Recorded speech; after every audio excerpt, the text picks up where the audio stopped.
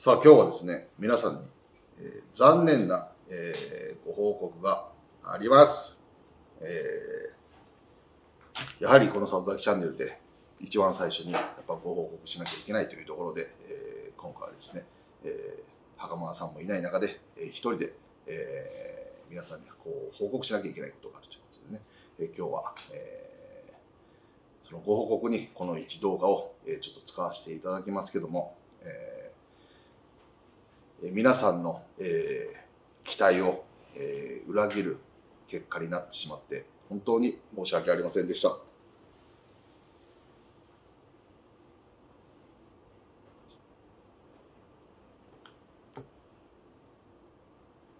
ここまで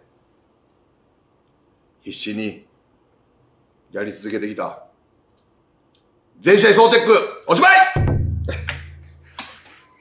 もうおしまいです。期待ね、楽しみにしていたくれた皆さん、あとあのコメント欄で海外から見てますと、えー野球中継見れないので、この佐々木チャンネルの総チェックが一番楽しみなんで続けてくださいと、お声たくさんいただいておりましたけども、僕がね、YouTube だけやってたら100%できます。先週のね金曜日に出た動画でも言いましたけども地獄のスケジュールですなんとかかんとか時間を作ろうって頑張ってきましたけどもさすがにもう24時間では足りません。あのもう見切れない調べれない寝れない自分の時間全くない、えーやりたいこともできないもう無理です。いやあのやろうと思ったら、まあ、できるかもわかんないんですけどずっとやってきて睡眠時間4時間の時とかも普通にあるんですよ。まあでもまあ別に大丈夫まあ結構僕体力あるんであの別に大丈夫かなと思いながらやってきましたけどもいろんなねゴルフの番組新番組がね千葉テレビで昨日ですね日曜日、えー毎週日曜夜22時から22時半までえー佐々木智也のゴルフ直球勝負という番組がね、えー行われてますけどもそれもあると。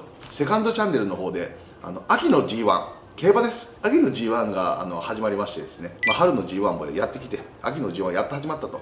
皆さん多分忘れてると思うんでねセカンドチャンネルのこれです。あの皆さん見てください。あの秋の G1 戦線やりますんで競馬もやらなきゃいけないと。でしかもですね総チェックやってきてですねちょっと矛盾が生じてきてる。今現状。それなぜかというとえ消化ゲームが非常に多いと。ここで発表します。楽天西武日本ハムオリックス。消化ゲームです。突如の発表です。はい。まあ楽天だけもう5%ぐらいの可能性あります。でもあとロッテとの直接対決6試合ありますけど全勝したら入れ替わる可能性があるんで、まあ、5%ぐらい首の皮1枚まだ楽天だけは残ってますけども西武日本ハムオリックス消化ゲームです。もう確実です。セ・リーグ阪神過去球団消化ゲームです。あとはセ・パも監督コーチの自分のプライドをかけて A クラス入りを、えー狙っていくっていう戦いだけになります。そうなってくるとですね解説しててもですねここ本当は進塁打打たなきゃいけないけどまあ別に消化ゲームだから、まあ、無理に打つ必要ないよねとか。もうここ本当はピッチャー変えた方がいいけどまあ別に消化ゲームだからこのまま投げさせて来季に向けて教育した方がいいよねと。えなんでこいつここで投げてくんやろ他にいるやろ？まあでも来季のためもしくはテストのためにまあどんなもんか投げさすことも必要だよねっていうように勝つ負けるよりも大事なことをがあっての試合になっていくんですよね。でそうなってくるとあの勝つための解説をしていくところでその多分現場と僕の矛盾が限りなく広がっていくというところでそうなってくるとですね、まあ、なかなか難しいと。あともう時間がないと。1日30時間あったら僕もできるんですけど24時間ではちょっとできないというところで。でまあね中途半端にやってもここまでちゃんとやってきてね約約90試合。せっかくやってきたのにここから中途半端になってなんかつまんなくなったぞとか当たり前のことしか言わなくなったぞってなるとねせっかくやってきたのにもったいないじゃないですか。そうなってくるとスパッとやめるっていうね、えーだからもう今日で終わりです。今日でっていうか今日もやりません。でもですねご報告があります。ハッピーのニュースもいるじゃないですか。今まではバッドニュースです。これからはグッドニュースあります。それは何か今週の土曜日から新企画スタート！というところで今週の多分土曜日から始まります、えーまだ撮影しないんでこれから撮影するんですけどもあの土曜日から1週間で火曜日のプロスピと木曜日のパワープロがあるんででセカンドチャンネルで土曜日に G1 競馬予想チャンネルをやってますんでそちらもご覧くださいね。でメインチャンネルでは、まあ、火曜日プロスピ木曜日パワープロとかあって、まあ、週5個ねあの動画を出していくんですけども今週の土曜日からこの企画。ドラフト前。昨年の各球団のドラフトの1年間振り返り通信簿アンド今年のドラフトの各チームの戦略佐々木チャンネルでやっていきます。というところですね1日1球団の昨年のドラフトの振り返りです。どうだったかと即戦力と言われた人が本当に即戦力だったのか有望と言われた選手がどう活躍したのかっていうところをね1年間経っての通信簿。今年の各チームの課題をしっかり見つけてどういうドラフト戦略を立てた方がいいのかっていう企画を12回やらなきゃいけないんで今年は10月26日がドラフトというところですね。土日で2回で来週再来週で合合で12回ちょうど25日で終わる計算です。毎日ねどの球団が出るとかっていうところで、えー皆さん苦労するね楽しみだと思いますけどもそちらの企画に変えます。それもやらないといけないんで総チェックやってる場合じゃないっていうねところもありますし、まあ、いい機会かなというところでもう終わりです。いきなりです。皆さんすいませんね。期待していたでもドラフト始まります。期待してください。え最後にですねご報告あります。えー、里崎がこれまで、えーつけたつけてきたですねこの総チェックのこの里崎コメントこのよねセパに分けて裏表でまああの日付込みでですね、えーいろんなチェックポイントまあこれねただの走り書きだから落書きみたいなもんですけどですね、えーこれをですね里崎チャンネル視聴者の皆さんにですね、えプレゼントしたいと。まあ、いる人がいるあ、ね、いるって言うんだったらねいらないこんなゴンみたいなやついらねえよみたいな感じだったらあれですけどこのあの1年間貯めてきたこの佐々木チェックの全カード分の、えー資料っていうところをですね佐々木チャンネルご視聴の皆さんにですねプレゼント、えーしようかなとシーズン後思ってます、まあ、そのプレゼントの仕方はですね、えーまあ今後検討するというところではありますけども、まあ、イベントをしてですねイベント参加者に、えー皆さんにプレゼントして、まあ、久保はこの後今は思ってますけども、えーまあ、でもその情報はねまたおいおい出していくんで、えーこれからも、えー、佐々木チャンネルご視聴ご視聴よろしくお願いします。里崎チャンネル。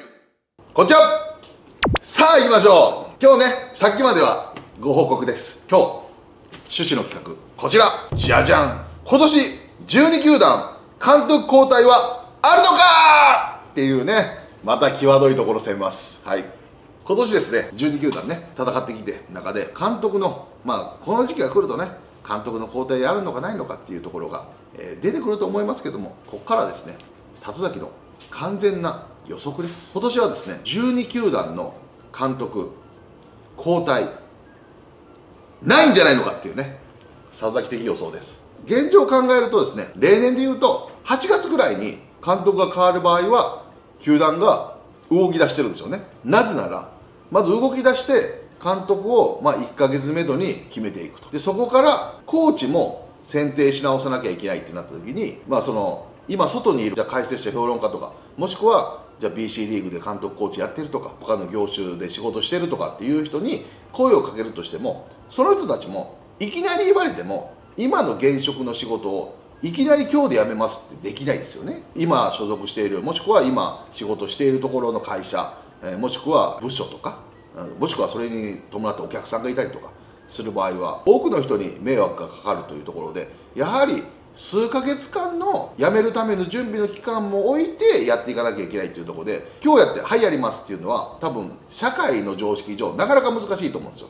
だから基本的には例年で言うと8月頃から監督交代やコーチ交代に向けて球団を動かしながら、えーアプローチをかけてそれで来てくれる来てくれない交渉も含めてやっていって全てのシーズンが終わって、まあ、10月中頃から11月のキャンプに向けて人事を入れ替えて、まあ、秋のキャンプで、まあ、お披露目しながら来年に向けて準備していくと。でしかもドラフトも監督が変われば新しい監督のもとでドラフト戦略を立てて話し合いのもと誰を取るかっていうドラフトに行くわけですよね。でも今年はですね先ほど前段で言いましたけど12月26日の月曜日が、えドラフト会議というところでですね、えその現時点で言うとですねまだプロ野球シーズン中です。そう考えると今この10月26日行われるドラフトには現監督が参加していくわけですね。そうなってくると仮にその監督が来季契約を結ばないで退団するとなった時にその監督の意向を組んでドラフト戦略しても意味ないですよね。だからもし仮に監督がもう辞める場合は今もうすでに言われてます。今言われてないとおかしい。なぜなら来季に向けての戦力補強をするときに来年いない人がその同席に入ってそこに戦略を組むってチームとしておかしいですよね。10月5日ですけど、まあ、あとだから26日までだから21か。だから3週間。だからまあ最低でも今週中ぐらいにまでは言われなきゃもう多分無理だと思うんですよね。でもそれでもそのコーチ選定を選ぶのにはギリだと思うんですけどじゃあもう仮に交代劇があったらどうなるのかっていうところを考えると交代劇ある場合はもう内部昇格のみだと思うんですよね。大きく入れ替えれないんでもう2軍から1軍の監督もしくは1軍にいるコーチから監督っていうところの現状になってくるんですけどでもそれを現時点でシーズン中に言われるとまあいざこざするっすよね。だからなかなか球団としても言いづらい。でしかも、まあ、今で言うとセ・リーグだとね阪神 d n a 中日がね A クラス争いしてるわけですよね。で中日とかも数年ぶりの A クラス入りだしあの d n a ラミレス監督もやはり連続して A クラスに、まあ、クライマックスしないけども A クラスに入りたい。で阪神矢野監督もそうですしやっぱりその、まあ、前の動画なんかで多分言ったと思うんですけどあの監督とコーチっていうのは選手じゃないんで結果を示すにはチームの順位でしかないんですよね。そうなってくるとやっぱ A クラスと B クラスではやっぱ天と地ほどの差が違うあると。でその中でメディアも含めファンの人も含めてやっぱ B クラスおい何やっとんやと。で A クラスだと、まあ、最低限良かったねっていう評価になるというところではやっぱ監督コーチはやっぱり A クラス絶対っていうところをねあのモチベーションでやっていく中で現状ねそういうチームの監督にもうあの来季契約しませんっていうのはなかなかモチベーションを下げることにもなりますしそこで B クラスっていうまあ球団がね別に AB もどっちもいいよってなってたらちょっと話は変わりますけどもで考えると12球団監督今年は交代ないんじゃないのかと。しかもこのコロナ禍の中でねキャンプやってきてオープン戦やって開幕延期になりました。で練習試合でバタバタしながら無観客で6月19かな？から開幕しましたってなったところででこの状この難しい状況の中で、まあ、みんな12球団どこも平等だから、まあ、結果を出さなきゃいけないって言われたらそれまでなんですけどその中でああでもないこうでもないって言われてもなかなかちょっと難しいしかわいそうですね。でそう考えると、まあ1年って大きいですけどもう1年もしんって思うことがあったとしても猶予を与えて、まあ、来年もねこのコロナ禍の中、まあ、今即効性のあるねワクチンが、まあ、承認されてるわけでもないし今全国民に行き渡ってるわけでもないって考えたら、まあ、来年以降もどうなるかわからないっていうねいうところはありますけどもしかもフルシーズン戦っても11月2週目までぐらいは戦う。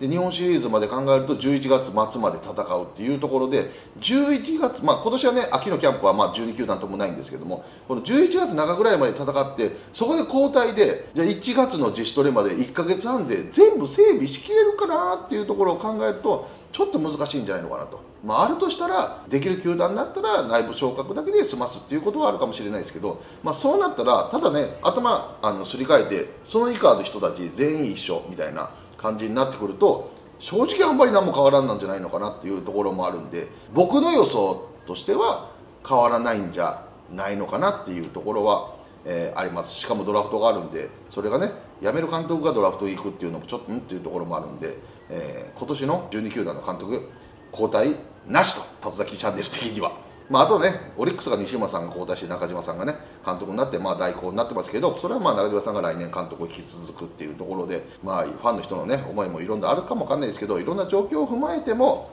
今年は、里崎的にはないのじゃないのかと。果たしてそれがどういう結果になるのかは分かりませんけども、これも予測ですね。っていうところを今日はお話ししたとともに、前段では、えー、謝罪と、後段では来季に向けてと、そしてドラフト企画、土曜日から配信しますぜひ期待してください。ということで、えー、皆さん、えっと、約90試合ですね。全試合総チェック、えー、お付き合いいただき本当にありがとうございました、えー、里崎も頑張りましたけどもさすがになかなか、えー、もういろんな意味でね難しいっていうところにもなりましたし、えー、まあでも今後もですねあの試合展開でいいとことか面白いとことか、えー、すごいあのいろんなことがねあればその都度全試合っていうわけにはいけないですけどピックアップしてお伝ええー、したいと思いますしですね。来年できるかなこれね。えー、まあ来年はねどういうあの仕事の内容になってるか分かりませんけども来年もねできたら、えー、総チェックねまた開幕したらやっていきたいなと、えー、思います。ということで以上今日はここまで。じゃあ。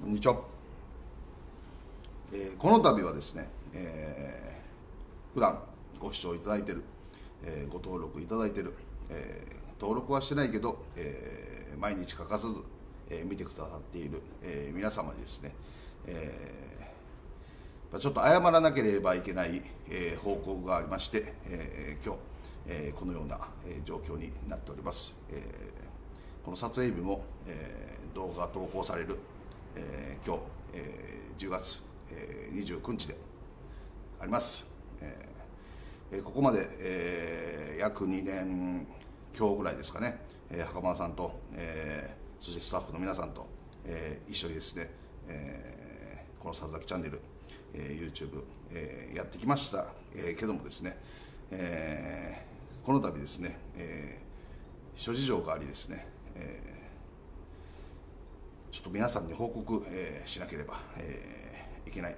えー、ことが、えー、ありまして、えー、今回、えー、一人でですね、えー、撮影、えー、させて、えー、いただいております、えーまあ、多分今日金曜日ということですけども、えー、週刊誌とかには、えー、まだ今週は、えー、載らないと、えー、思いますけども、えー、多くの皆さんにですね、えーまあ、心配を、えー、かけながら、えー、やってきたことも、えー、ありましてですね、えー、やはりこの、えー、YouTube でですね一番最初に、えー、皆さんに報告、えー、しなければ、えー、いけないと、えー、思いましてですね、えー、今日動画撮影させていただいております、えー、普段ですねポロシャツでやっておりますけども今日はバッチリ、えー、スーツを着させていただきまして皆さんに、えー、報告、えー、させていただきたいと思います。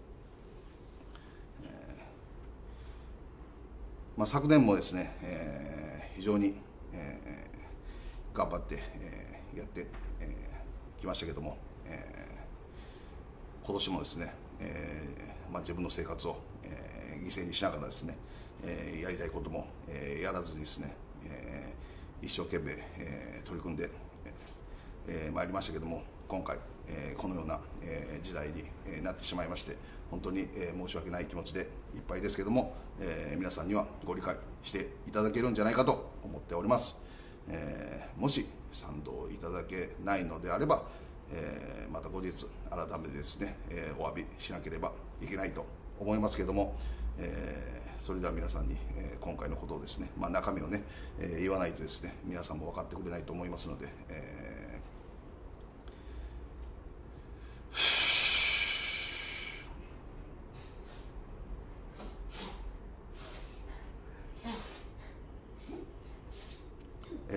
それでは、えー、発表させていただきます、えー、2021年、えー、ここまでやってきましたけども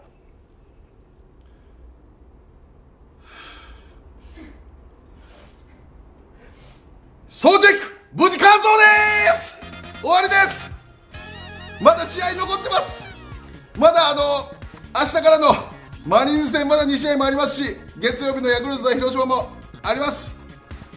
まだ完走じゃないといえば完走じゃないかも分かんないですけどももう優勝も決まりまして順位も決まりましてですねもうこの度ね最後までやれっていうねお叱りの言葉あるかも分かんないですけどもそこはもう皆さんに謝りたいと思います。しかしもう優勝も決まりました。総チェック。今日もちまして今日金曜日ですけどもいつも月金で出していただきましたけども本日ともちまして。2021年プロ野球シーズン総チェック終了させていただきます。この報告です。どうもすいません。はいじゃあ座ろう。里崎チャンネル。じゃはい。あここからこんにちはなんですね。はい。いやなんかスーツ着てびっくりしましたよ。なんか何言い始めるんだと思って私は。いやだから報告報告。報告をだってあのお詫びのご報告しなきゃいけないなと思ってすごい神妙な面持ちで、うん、ね、何謝罪するんだろうと思ったら、うん、別に謝そんな謝罪じゃないじゃないですか。いやまだ数試合残ってるんで。あまあまあまあ確かにそうですね。やっぱ完走するって言って。だから釣り動画とかでも何でもないんですよ。えー、本当ですか？でもなえ何なんかこう謝る感じ出してたじゃないですか？だから謝らなきゃいけない。から漢字出すとかじゃない。謝る俺嘘を言ってないから謝ってるわけそう総チェック。今年はもうかんそれはもうきつかったよ。優勝 A クラス B クラスはっきり分かってからは、はい。まあ視聴率も50%ぐらいになってよ。はい。そりゃもう俺正直よ。はい。開幕してから、だからあの3月の末に開幕してから今10月末だけど、だから456789107ヶ月じゃん。約7ヶ月半。はい。無休だからね俺えー、そあそうなんですか？だって休みの日だって試合やってるから見てんじゃんこのために。あそっかそっでか顔チェックするじゃん、はい。で要はそれも仕事と思ったら、い。俺な7ヶ月半無休なのよ。あまあそうですね、うん。常に今頭の中に仕事のことは考えてないといけないんですよ、ね、そうで試合も見なきゃいけないから、うん。それを仕事としたら、休みも休みじゃないの確かに。そらくそら苦しかったよもうさ修行だもん、最後らへん。いやもうそれはもう回らなくても、はい。これを楽しみにしてくれてる人たちもいるし、あの一人でもいたら、これ俺はもう最後までこれ去年はねあのちょっと子供の受験とかもあって、はい。途中でやめたけども、ん。今年はもう完走しようと思って最後、へー。気合で。今ごめん意地みたいなもんですね。そうもう修行やと思って。いやだって、やるのは簡単なのよ。はい。試合見りゃいいからね。いやまあ試合見るのがまあ大変そうですけどね。だからそれが面倒くさいのよ、うんそうですよね。それもだって俺いつも毎日あの6時に起きてるのよ。はい。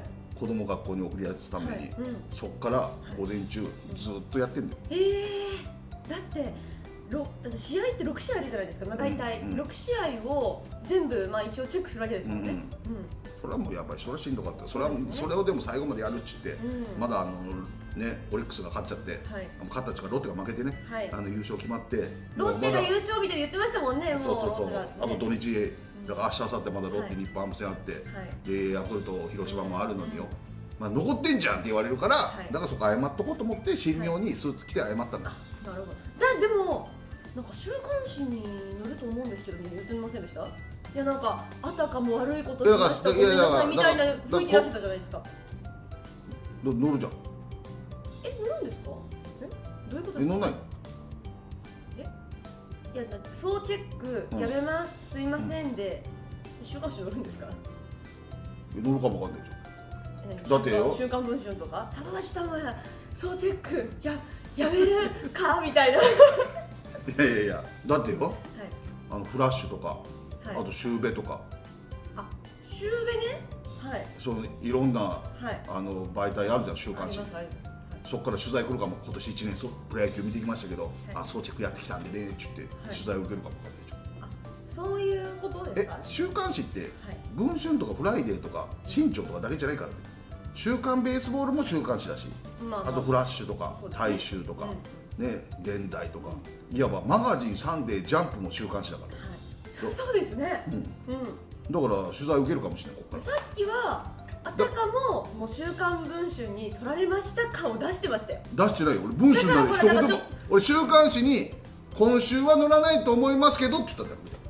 そうですか？うんかあたかも取られちゃいましたみたいなちょっと私はえ何これこのな何謝罪するの？もしかしたら釣り動画かと思いましたもん。全然ついてない事実よ。じ俺嘘一個も言ってないからね。そうですね。うん。みんなにやっぱりその最後までやるって言ってことをやりねまだあと3試合ぐらい残ってるけども、はいこんなの1試合ずつやってもしかも消化ゲームなのに、はい。もう意味ないし、うん。あと思ってもう優勝も決まったから、で優勝動画も出したし、はい。で終わりだけど、うん。まだ多くの人はいや最後までやってくれよっていう人がいるかもわかんないから、それについてはお詫びしなきゃいけないし、はい。で週刊誌も、うん。今週は出ないけども、今後その総チェックに対しての取材があるかもわかんないから、週刊誌出るかもしれませんよっていうことの宣伝でもあるし。ーなるほど。まだ未定ですけどね、うん。で終わりっていうのをちゃんと報告しないと、はい。皆さんが待つ人もいるじゃん。あ出るかなって、うんそうそう。あれ出ないけど出ないのかなって待つ人もいるからちゃんとそうやって最後までやるよっていう人にはお詫びしなきゃいけないし、あのまだあるのかなって待ってる人がいてくれたら困るからそこはやめますっていうことを報告しなきゃいけないし、週刊誌にもひょっとしたら総チェックのことが未来で出るかもしれないからお楽しみにねっていう報告まあまあまあまあそうですね。まあまあ間違ったことは言ってないですね。うん何一つ嘘も言ってだから釣りでも何でもない事実を淡々とあの述べただけ。そうですね。まあスーツ着る必要まであったかなとはちょっと思いますけどね。でもおかしいのはそっち側よ。何ですか？なんかいきなりなんかでこなんかななんかなんかなんか俺何も言ってないのになんかちょっと泣いてます雰囲気。これ音声入ってんのかどうかは知らないけどなんかシックシックシックみたいななんかすごいやってたよ。何あれ。え音入ってますかね？わかんないけどあれよとした？ら俺何も依頼してないけど。いやでももしかしたらねサザエチャンネルやめますとか言いかねなかったですもんね。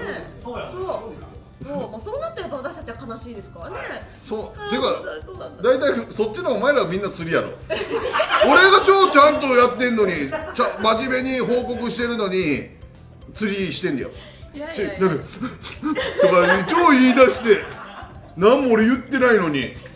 どういうこと？あれあれはちょっとどういう弁解あんの？いやあれは本当の気持ち。嘘やろ。でやめちゃうかもしれない。そしたらもうみんなに会えなくなっちゃうんだ佐藤さんにもね会う機会少なくなっちゃうかもしれない。ああ悲しいな。ってやってたんです。いやだって事前にあの総チェックやめる動画作り出すわって言ったじゃん。でですか？この会話をぶち壊すんですか？いやいや俺は総チェックやめる動画を出すって言って総チェックやめる動画を作ってただけよ俺は。そうですね。そしたらなんかあのすごい乗っかってきて。どんなことやるかわからなかったやろでもあそうですそうです、うん。はい。シックシックシックって。伝えたいでもドンとクライって言われちゃう。ごめんなさいやっぱわかんないですね。うんそう。はい。ゆ揺れる。ジュエルな星空に。ション。わかる？シックシックシック。ション。知ってる？僕平成生まれだから。嘘つけよ。いや私もやっぱちょっと平成生まれなんでわかんないですね。え？ウィンクやつそそれじゃないやつ。それじゃない。もうそれそれだけどそれじゃないやつ。それは知ってます？シックシックシック知らない？シクシク知らない。ええ。まあということでね、まあでも佐藤さんもすごいですね。だって144試合かける大体か、まあ、約6を、ね、そうそうそうそう。だから何試合だろ？1000試合ぐらい。見たよ。うん、見たいですよね。でもよかった俺、うんそのあのまあこんなことやる人いないじゃん、はい。か 解説者でね、ん。でそれをやったからこそ、俺全球団のこと喋れんで、だからシーズン終わってからでもすごい依頼いっぱい来るんだけど、うん。12球団のことはい。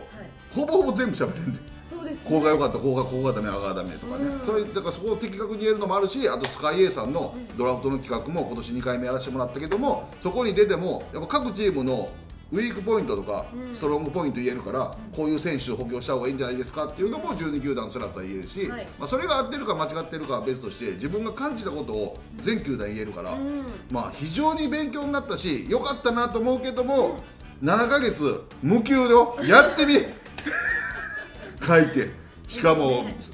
家で撮る時1時間も一人で喋ってよ。はい。朝から。あの体力すごいですね、家で一人で1時間やっぱ喋んないといけないっていう、ううん。んあれはすごいなと思います。そうああのもさあやろうかみたいな朝7時とかにやってる、はい。8時とかだって私だったらもうあーもう今日いいかな今週いいかなってなりそうですもんね。金曜日が一番地獄なのよ。うん。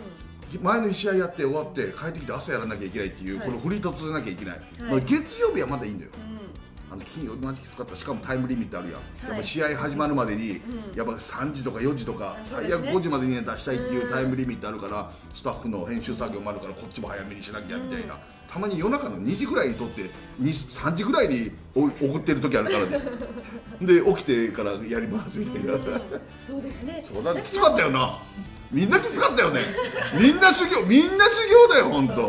ね。みんな修行だしあれですよやっぱ野球ファンの方って自分の好きな球団のことはすごい見てるじゃないですか。だからやっぱ間違ったことも言えないし、うんね、うん。こう適当にできないので。しかも当たり、うん。ねでなんかこうねそそんな誰でもできる当たり前のこと言ってる。じゃあお前やってみろよっていうねだ大体全員当たり前のこと言ってるからみたいな。そんなこと詳しいことまで分かんねえよって言って。まあ12球団把握するだけでもね、うん。本当に大変だったと思います、まあということでね、はい。あの今日の動画ははい。何の動画やって言われるかも分かんないですけども、はい。あの今日金曜日ということで、普段はね掃除機出しますけど、はい。もう今年完走ということでいいですか？はい、はい、お疲れ様でした。はい、ありがとうございました、また来年記録があればやります、はい。プラスアルファあのクライマックスシリーズ日本シリーズはソーテックやるんでやります、はい。日本シリーズあのクライマックスの総チェックはやりますんで、皆さんそこねぜひご期待ください、初戦ね2試合なんで、楽なもんですよ。お楽しみに、はい。えー皆さんこんにちは、えー今回はですね、えーまあ、ある、えー問題が、えー発生しましてですね、えーまあ、ひょっとしたら、えーもうすぐにですね、えーまあ、ネットニュース含めて雑誌でも掲載が、えーあるかもしれませんけども、えー皆さんにですね、えお伝えしなければいけないというところとですね、えまあ、ちょっとこれ以上はですね、えー動画、まあ、撮影も含めてですね続けていくことが、えできないっていう、え判断になりましてですね、えーまあ、この動画をもってですね、えーちょっと、えーまあ、また続けるかも分かりませんけどもだからまあ終了とは言いたくないんですけども、えー一時、えまあ、動画の撮影、え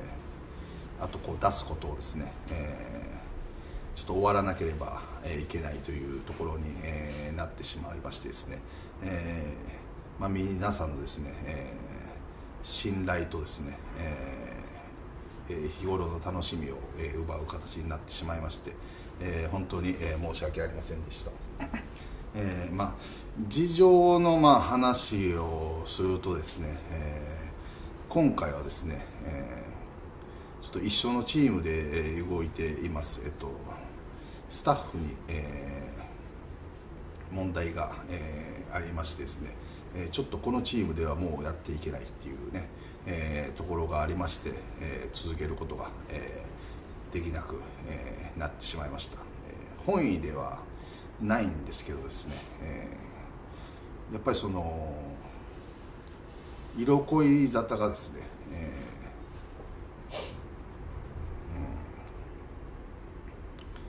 ーまあ、チーム内で起こるとですね、えいろんなことも含めて続けづらいっていうかですね。笑ってるやん。笑ってるやん。なんなん？笑ってるやん。笑ってるやん。なんなん？これ。あ面白い。笑ってるやん。涙でそうですた。面白い。はい。これ真剣、うん。はい。だからあれでしょ？スタッフと付き合っちゃったんでしょ？うんどうかな？それはちょっとここで別に言うべきことじゃないかなって感じですけどね。ななんでそんな開き直ってるんですかじゃあちょっと神妙な面持ちにしときますよ本当に。すいません。はいすいません。ちゃんとやってください。よはい。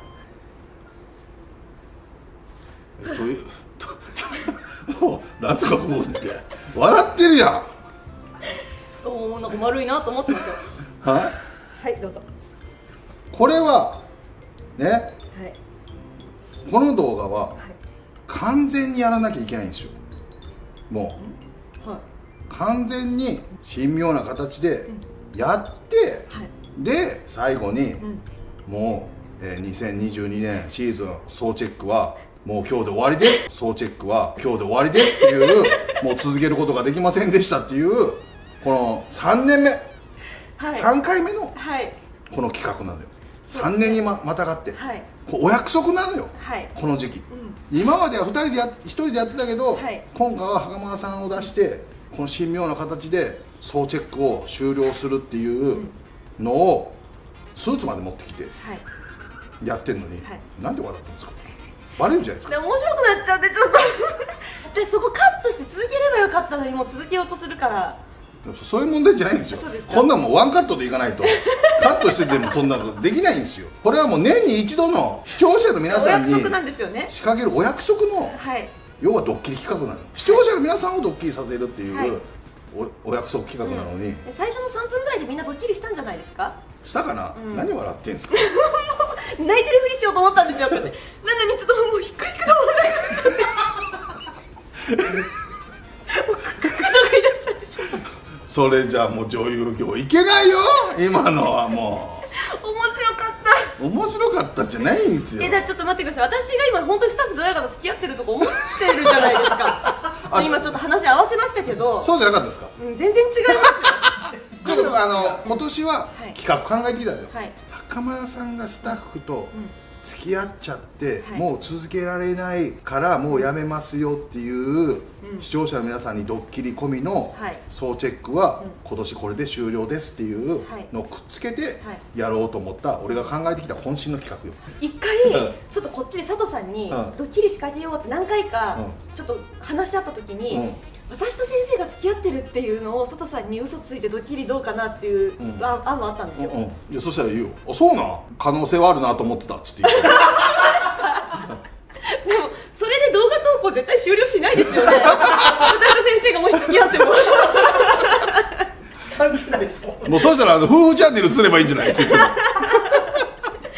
何笑ってんすかもうせっかくやったのに。すいません本当。まあということでね、はい、まあ、2022年もはい。総チェック、おしまいです。はい、佐藤さんお疲れ様でねした、え。長い俺もっと早くやめたかったのに。なかなか優勝が決まんないから、はもうずっとやっちゃって、でもなんか本当にねあの業界の方、あとテレビ局とかラジオ、い。そういう制作部関係の皆さんは、本当に総チェックを見てその選手の状況を確認しに来てるらしくて、はい、私も結構次の日なんか野球の仕事があるって時に佐藤さんので何て言ってるかなってチェックしてから行ったりしますもん、俺結構どの選手も触れるから、はい。新聞扱わなかったりテレビ扱わなかったりして情報が世に出てない人もよかったらいいって褒めるから、はい。それを何て言ってるか聞きに来るらしくて。あとあのベストナイン選ぶじゃないですか。あれでなんか今週の良かった人っていうのを結構こうバンと知られるのであれいいですね。あれひと一言コメントは気にしてないですか？一言コメント結構関係ないのも多いじゃないですか。俺めっちゃ考えてんのよあれ一言コメント。なんとか隊とか。いやいやそれそれ知ってるわみたいな。でもあのウエストなんとかフィリップス高校とかわかんないでしょあのキューバとかドミニカとかまあ知らないですけどね、うん。はい。それが終わりっていううん。動画を今年も3年目にしてはい。撮ろうと思ったら、そんな大爆笑。でもあれじゃないですか。前回去年かな、うん。スーツ着てこれで一人で正座して撮られたじゃないですか、うんめっちゃバッドボカった多かったですからね。でもコメント欄にもあったのよ。えお約束なのにまだわかんないのっていう人たちもいたから。ああ常連さんは分かってくださってたんですね今年も、はい。もしバッドボタンが多かったら,、新規の人が多いってことだね。あ逆にいいことかもわかんないね。そうですね、うん。でもちょっと今年私の新しいこの要素がありますか？らねうんそうだね、はい。うん、で笑って、はい。どうしたんやって 早いよ。あとあと1分ぐらい俺いけたのに。いけました？うん全い然やこう私も頑張ってこらえようこらえようとしたのにちょっとダメでしたねまだ気持ち作れてなかった。い作れてなんか作ってなかったの、うん。ちゃんと作ってください本当はだから悪いなっていう気持ちを持って臨まないといけないのに、えでも私ともしスタッフつく付き合ってて何が悪いんだろうって思って臨んじゃったから笑っちゃったんですよね、じゃあちょっとあれかな？あのー設定がちょっちょっ悪かった。うん、設定がちょっとあんまちょっと台本が悪かったから。そうかもしれないですね。じゃあそこらはまだあの1年後。はい。来年はどうどういう体で謝罪に来るかいやこれ、い。3点目ではい。3回とも騙されてたら、はい。その人も素直だね。素直ですね。うん。がまあ新規の方ですね。そうですね、うん。ということで、はい。今シーズンもこれにて2022年総チェックやっと終わりです、はい！皆さん1年間ね見てくれた人本当にありがとうございました。終盤ねちょっと再生回数少なくなりましたけども、まあ、これは毎年のことなんでね、はい。仕方ないですけどもね1年間お付き合いいただき本当にありがとうございました、えーこれからね大シーズンになってさらなるね面白い企画どんどん出ますので引き続きお楽しみください、はい。それでは袴田さんは誰とも付き合ってないし全部嘘でした！一番本当なのは総チェックが終わりっていうことが言いたかっただけです、はい。さよなら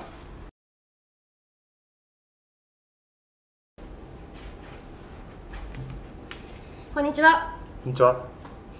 えー今日はですね皆さんにあの本当に大切なお願いがあって動画を撮らせていただくことになりました。と実はあの里崎さんがですね動画を撮るのをやめるっていうふうにあの、まあ、言ってまして先日私の方にこう電話が来て、えーまあ相談というかもうやめるっていうふうにあのもうあれは多分まあ決断したのかなっていうふうに私は感じたんですけどなのでちょっと皆さんにお力を借りたいなと思って今日は動画を撮らせていただくことになりました。であの、まあ、私一人で撮ってもいいなと思ったんですけど、まあ、あのいつもまあ先生は動画にねよく出てくれるというかまあ、よくね登場してるので私も一人だとちょっとなんかこういう動画撮るのも一人で撮るのもなかなか初めてなので、かまあ、一緒にいてもらおうと思っていてもらってるんですけど先生のとこにもやっぱり連絡来ました？そうですね。なんかね前々からまあやっぱりそういうのってやっぱ事前に急に言うもんじゃないじゃないですか。なんかそういう話が事前もうここそうですね。2ヶ月前ぐらいからちらほら来てたんですよあそうなの。私には急に来たから結構びっくりしてて。そうですよね、うでまあ2ヶ月ぐらいだからもしかしたら辞めるかもしれんみたいなのを、でもまだそれは詳細はまだ決まってないけどねみたいなのは言われてたんですよ。うん。これぶっちゃけな話。はい。それはもちろんそんな状況でね袴田さんに説明することはないと思うんですけど、うん。でそうですね。ここ1ヶ月ぐらいですね。急にその熱がというかうん。こっちの方向に走っちゃったのは私もそのえなんでなんかまあ里崎チャンネルも今もう4年ぐらいやってて、すごく言えばまあ視聴者の方も増えて、うん。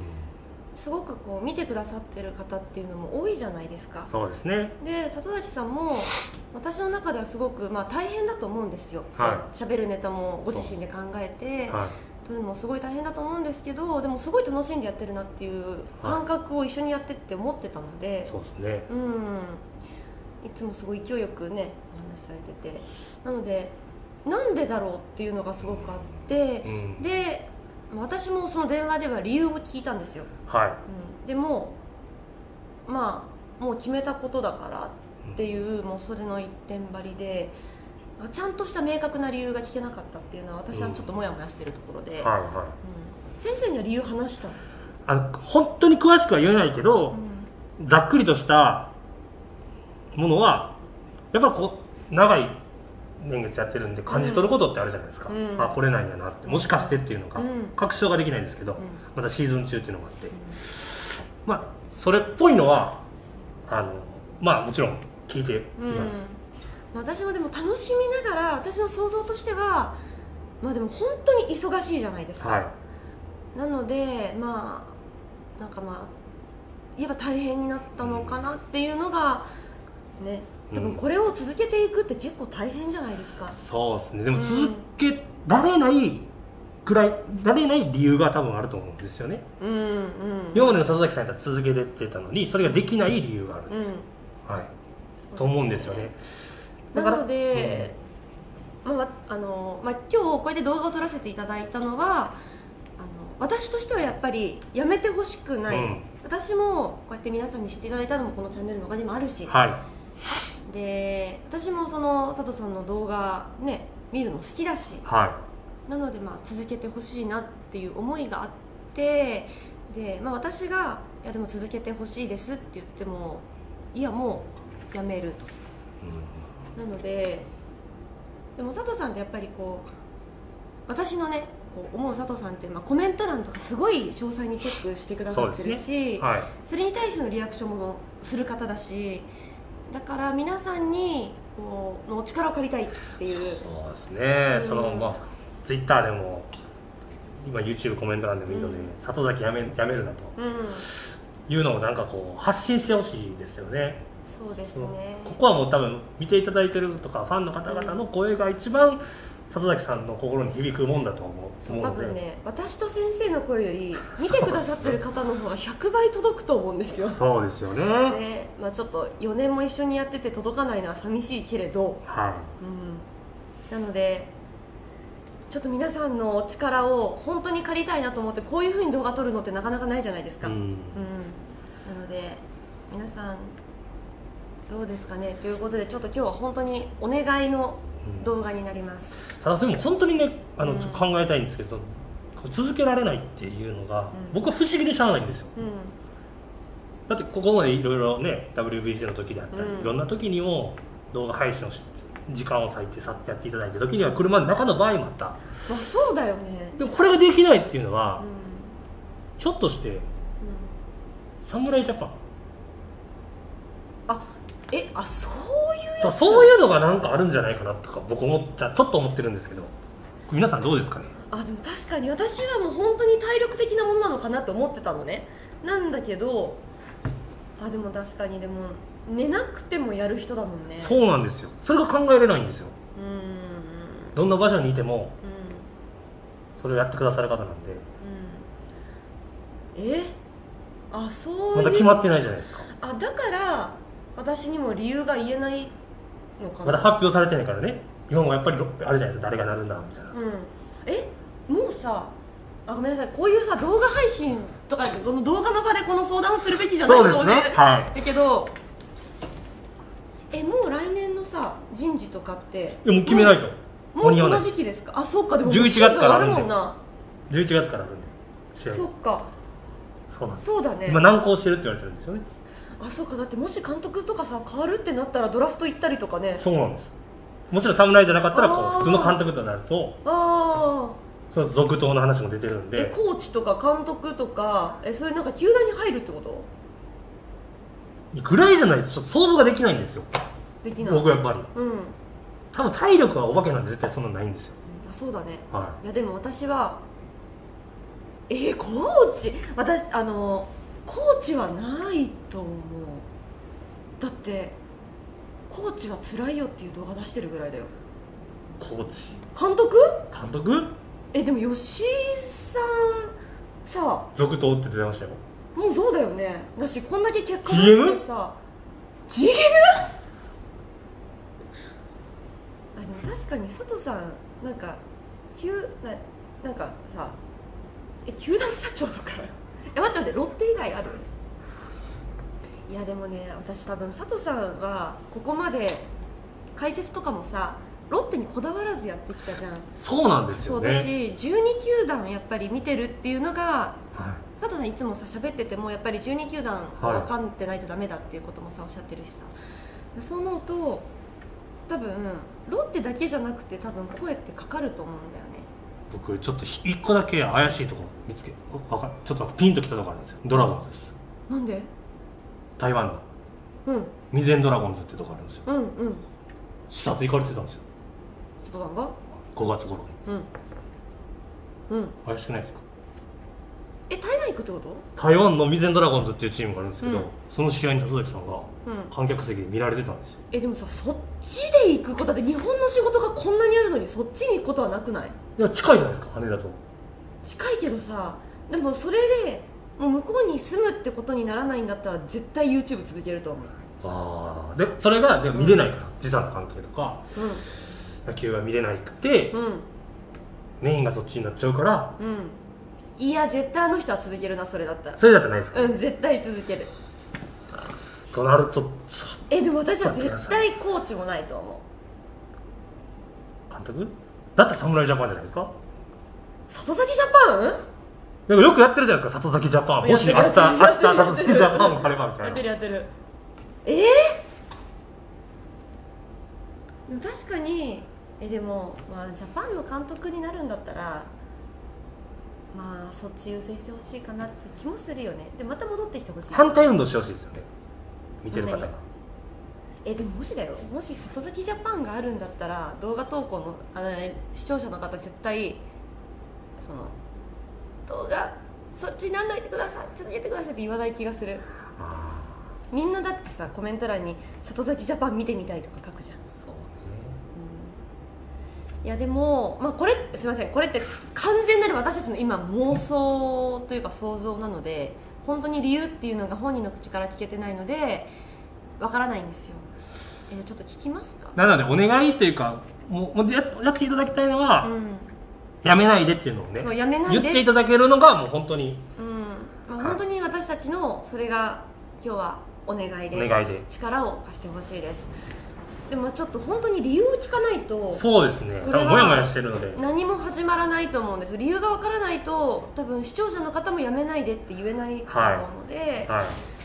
これはやっぱり本人に聞かないと。そうですね。いけないですうね、ん。ね佐藤さえ何ですか？え？何ですか？んやめるって何ですか？やめるってなんですか？えちょっともう続けてないんですよ。え？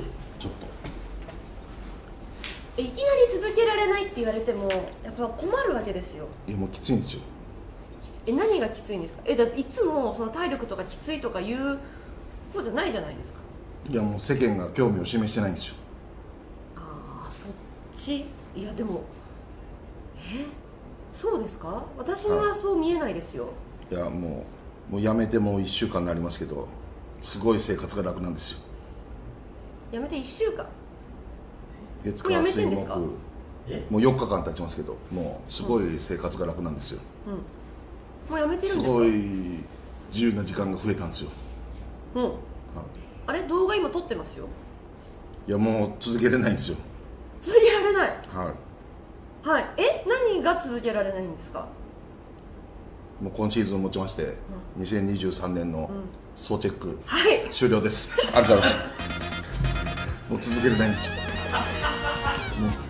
はいそういうことですね。はい。もう総チェック続けれないんですよ。どうしても。いやそうですね。はい。もうあのー3連戦もなくなってきてるんですよ。はい。で優勝も決まったんですよ、うん。確かにクライマックスシリーズ争いあるんですけど、はい。3連戦振り返ってたらし毎日対戦カード違うんですよ、どういう並びで伝えてもいいかも分かんないし縦と横のつながりもないしもう消化ゲームで諦めてるファンの人いるんですよ、見に来ないんですよ、コストパフォーマンス全く合わないんですよ。この月曜日のやつなんて全然回ってないんだよ、もうあれで心折れました。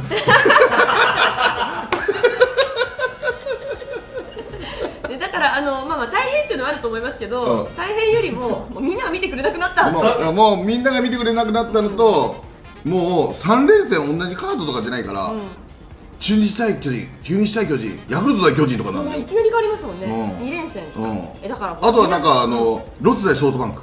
ロッテ対楽天1試合でみたいな。もうつながりとかもう全くないね。ないですね。うん、もう伝えるのは難しいしもういいやろ優勝も決まったから。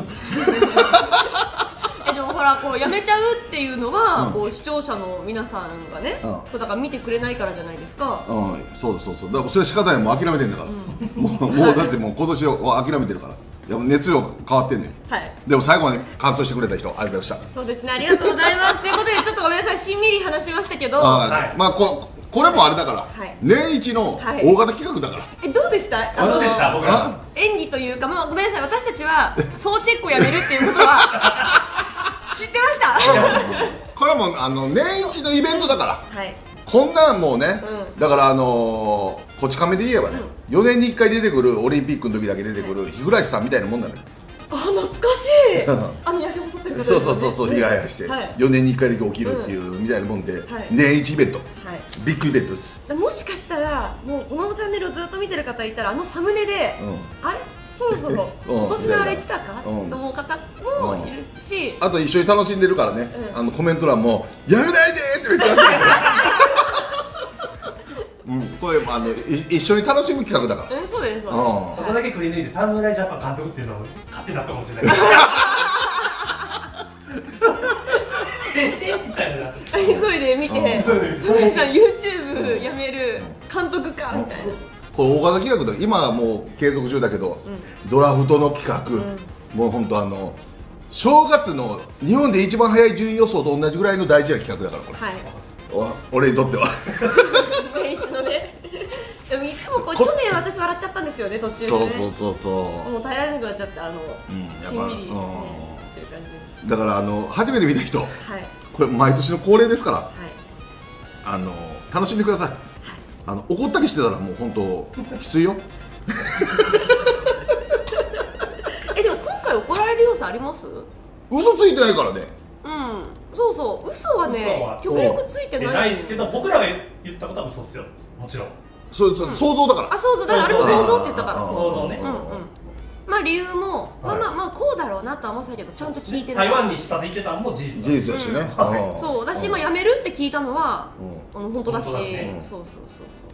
っていうのでちょっとまあ小芝居じゃないけど、うん。ちょっとしんみり、まあうん年一だからね。はい でもまあそれで総チェックやめないでと思う方はコメント欄に「佐藤さんやめないで最後まで見ます」って書いてくれたら戻ってくれるかもいやいやそしたらそしたらコメントに書く無理です。無理です無理です。って。でもまたあのクライマックスシリーズ総チェックあるかあそうですね。ら、うん。であとは総チェックしないけど、単発のクライマックスシリーズ争いのはい。試合の評論は出すかもしれない、それはねもう全試合もう。全試合総チェックはおしまい、うん。もう今年も、はい。もうだってセ・リーグなんて10試合切ってるからね、頑張ったよな。今年。思います。そうですね。結構ね。うん。ほぼ休むことなく、ね、台湾行っても見てたんだから。そうっすよ。いつも移動中もこうやって見てるんですから、うん。大変ですよね。よかったもう幸せ、これであのもう心置きなく NFL とはい。ラグビーワールドカップ見れるわ、そうですね、うん。自分の時間できますね。できるできる、うんもう本当もはい、うはい。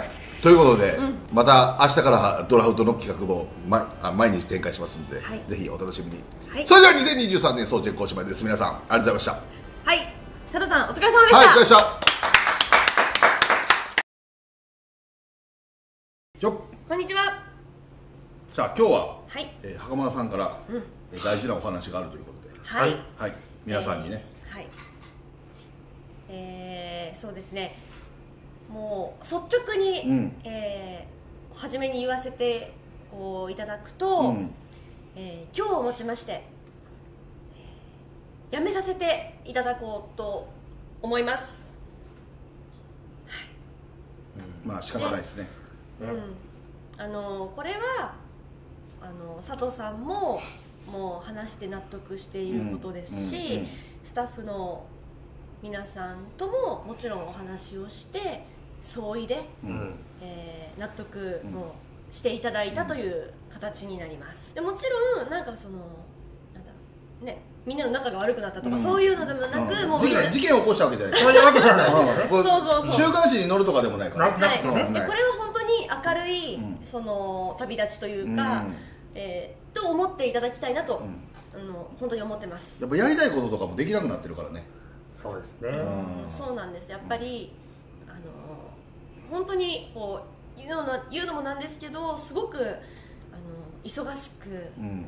なってきて、でその、まあ、毎日投稿うん。このうん。チャンネルもしてるし、そうですね。その中で、ね。そうそうやっぱ撮影ってなると、うん。結構その費やす時間というのも多くて、出てるところだけじゃないからね。そうなんですやってる労力がね。はいうんそうだね。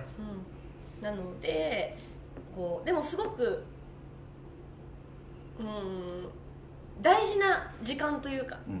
今は。うん、やっぱりすごく大事にしてきたものでもあるし、だからこそ続けてきたんですよ、うんそのおかげでねいろんなものもあったのもあったからね、うんうんやってきたことが良かったしね、はい、なのであの、まあ、それも本当に大事にしてきたしすごくその大事にしたいっていう思いもあるんですけどやっぱりこう他のことに費やす時間というのも欲しいなと、全くないからね。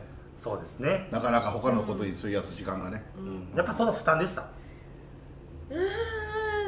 いやもちろん、まあ、今佐藤さん全くないって言ってたんですけど、もちろん作ろうと思えばうん。ある、でもやっぱりそこに作れやっぱりこれにかけてる時間ってすごく大きいじゃないですかやっぱり、うんなのでやっぱりこう変えていかないと思うこともできない、簡単にやろうと思ったらもしかしたらできたかもしれないですけどこのチャンネルのポリシーというかうん。一個のものをやっぱりみんなで時間かけてうん。真剣に伝えると。うん。ただ適当にやってるわけじゃないからそこそこを考えるとできなくなるそう結構軽いノリで喋ったりはするじゃないですか、でもやっぱりそう費やしてる時間とか、その準備とか、ね。あの普段こう資料とかもまあほぼほぼ置かないで撮ってますけど、その前の準備とかやっぱり考えることっていうのはすごくあって、うん。ってなると、うん、やっぱり変えていかないといけないなというふうには思うところはやっぱりだからもうそれはもう決断だもんね。うん。やめるっていうのはね。はい、それはでもやっぱり一人のことではなくて、佐藤さんともうん。こう話して、うんスタッフとも話して、そうですね。うん。はい。まあちょっと青空今日いないですけど。うん。はい。もちろん青空君とも連絡はねうん。うん。取ってみんなの相違で納得してのことというのは、あの視聴者の皆さんにも分かっていただきたいなと、まあシーズン終了とねうん。同時ぐらいでね。はい、ままあちょっといろいつ言おうかなみたいなのあったんですけど。うん。シーズン中だとね。はい。まだシーズン中だからうんねですしいろんなねなんか憶測が飛ぶのも嫌でしたしはい。ねそうですね、週刊誌に載るようなことはないですよっていう。それは絶対ないそれはないと。そうですね。だから今日こんだけこう明るくお伝えできてるのかなというのはやっぱりあるんですよね。ううん、いや佐藤さんも納得した上ですもんね。それはもうそれはもう仕方ない。納得した上で。うん。もうそれはもう続けられないね。うんもうやめ時だね。うん、うん。また戻ってくる可能性も佐藤さんありますよね。そうだね。まだ復活の可能性もあるからね。うん。そうですね、うん。あのだからもう常時じゃなくなるっていうね。はい、そうそうそう。視聴者の皆さんがいいと思っていただけたらまた来年のシーズン春ぐらいかな。うん。シーズン始まるぐらいからあじゃあシーズンがこう終わったところでちょっとこう時間もできるし、うん。それと同時にあじゃあやめるというよりはお休みって形でいいんですかね。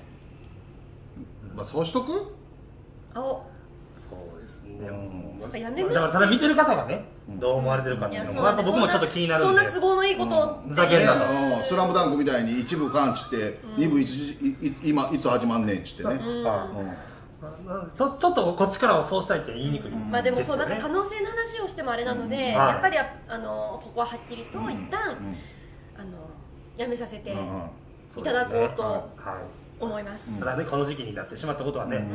本当に申し訳ない。でも精一杯やってきたからね。はい、そうですね。ん。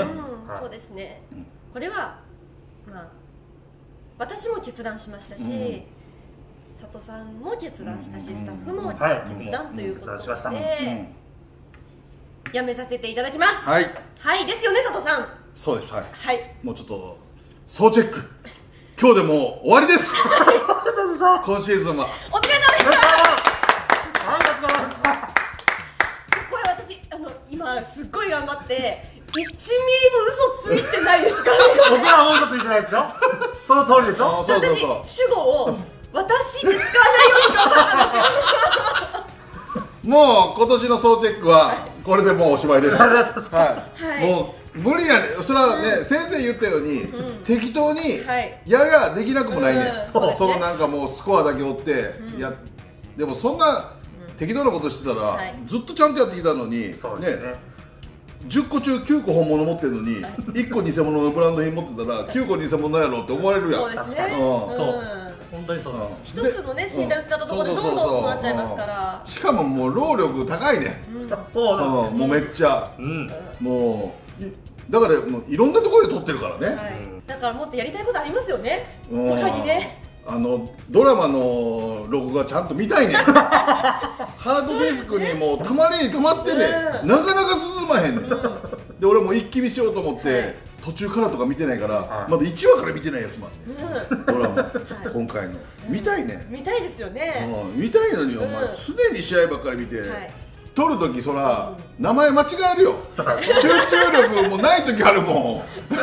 しかもあの長尺でねあ撮って。ー夜中に、うん。もう今日撮らなきゃとかね、はい。一番地獄なの、うん。金曜日だから、地獄だから。獄みんな地獄だから。みんなスタッ地獄フスタッフも地獄だから。もう、ね。たまにベストナインのパーツだけ抜けたりしてる。で言われんねん言われるんですよ。さっさんあのセ・リーグのファースト言ってないんですけど。え？そんなことある？みたいな。ででもね、サトシチャンネルを作る上でやっぱすごい大事なコンテンツ。そうそうそうだそ。うあれによってやっぱ12球団把握できてるのもあるし、だってあのキー局のアナウンサーが、もしくは地方のアナウンサーが中継するときに、俺のチャン俺の総チェック見て事前準備するらしい。いや私もしますもん。だって中継とか入るために、回楽天戦中継するから佐藤さんなんて言ってるかなって聞き直したりとか。確かに確かに。うん、この3連戦聞こうとか、うん。しかも影影響力もあるしね、うんそうなんですよ、うん、安田使えっつったら安田使ってくれるしね。ちゃんと。球団の方もやっぱ結構見てたそうりねそうそうそうそう。しますからね。だからあの来年の春にはまだ始まんのよ 皆さんが見てくださる限りうんはうんお休みして、来年の春に。だから袴田さんは嘘一つもついて。ないそうなんです。い一瞬でどっかでね私はって言った時にああややばいやばいやばい。あちょっとあのー他のチャンネルはいバージョンで撮ってみました。なんかやめますバージョン。そうですね。そうん、そういう感じをこう、まあ、私が辞めると思わせたい感じで撮ったんですけど。そうそうそう。だから今年はこのパターンね今年ね。うん毎年企画考えるの。毎年やめます企画考えるの大変だから俺ら。うん。今までいろんなことやってきたからね。あの謝罪会ー見みたいうん。一回あれやろうじゃあ、あのー、これの後に、これ出すじゃん。後に過去の、はい。あのやめます動画なんか総集編そうですね嫌なこと投げ出した投げ出したくなったら見てくださいみたいな。やめたくなったら見てくださいみたいな。なあれ去年何やりました？で去年はなんか先生と袴田さんが、なんかもう付き合っちゃってる風のやつじゃなかった？あそうです。そうなんでしたっけ？確かにそのそんな感じ。でうん。うん。でその前は覚えてるんですよ、うん。なんか私白いシャツ着てて、うん。で佐藤さんスーツで、なんか二人で正座して謝罪会見みたいな。ここここでね。これどけて。ね、このくだらないコンテンツをね撮影したんですさねあこれあのこれが流れるともうシーズン終わりやなっていう風物詩だから。だからね。うん。これだってもうこの多分企画45回やってると思うんだよ。やってます。はい少なくてもね、うん。それを目くじら立ててはい。怒っちゃダメなんですよ、そうそうそうあでもたまにいるんですよね。たたまにいる。たまにいいんで そう。あれよちゃうねんそういう歴これも。釣り動画かみたいなね、ちゃうね。んもうちゃんとした正式な動画やね。釣り動画ちゃうね。んそう。なんならもう視聴者の皆さんもあ今年は何やるのかなって思ってほしいですよね。だからだからこれを何秒で気づけたからね。あそうですね。うん。うん。この、あとこれを一緒になってコメント欄でばらさないで盛り上げれるかどうか勝負だから。そうですね。でも優秀な人いるから。いますよ、うん。コメントでも乗っかってもらってね、うん。はいうん。袴田さんお疲れ様でした。そうみそうたいな一一番ダメなのは何秒にスキップみたいなやつね。いるんですよ。8分あたりに飛べば結論みたいなそれはダメなんです。一番ダメにあれば、うん。まあまあいいんですけど、うん。楽しみですね、うん。は皆さん気づいたかな、ね、うん。だからまあ、あでもの2024年、はえー総チェック終了の企画、い。はどうでしたかね？まあ佐藤さんでもこれはもう労力やっぱ佐藤さん一番うんありますから、はいただでもこっから面白いコンテンツ出しますよ。そうだよ。おこっからだからこっからこっからシーズン終わったや。ん、オフのまだ俺の総チェック終わってないね、はい。あのクライマックスシリーズ日本シリーズ毎試合総チェック 毎試合総チェック始まんねん、そうですよ。全然終わらないですうん。まだまだ、うんそうそう。まだまだ続くなんで、でもはいこのねシーズンの総チェックをしまいます、はい。はい、お疲れ様でしさたあそれじゃあドラマ見てください、はいありがとうございます